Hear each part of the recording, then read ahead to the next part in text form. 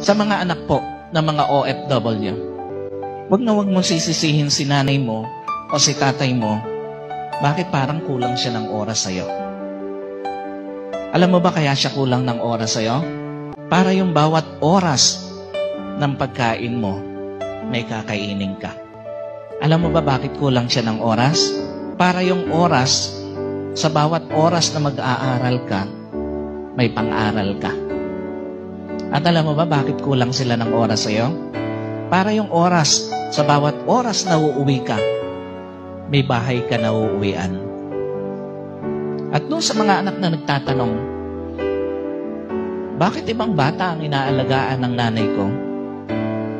Tandaan mo, habang ibang bata ang hawak ng nanay mo, sa puso niya ikaw pa rin naman yung naroroon. Sa mga bata na nagtatanong, sa mga anak na nagtatanong, bakit ibang bata ang inaaruga ng nanay ko? Alam mo ba na habang ibang bata ang inaaruga niya, sa puso niya, ikaw pa rin yung naroroon. Kaya pahalagahan mo bawat sakripisyo ng magulang mo.